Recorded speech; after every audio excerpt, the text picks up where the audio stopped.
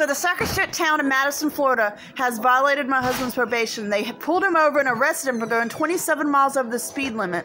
They are such sacks of shit. Madison, Florida, David Harper, and the Madison, Florida Sheriff's Department are evil pieces of shit.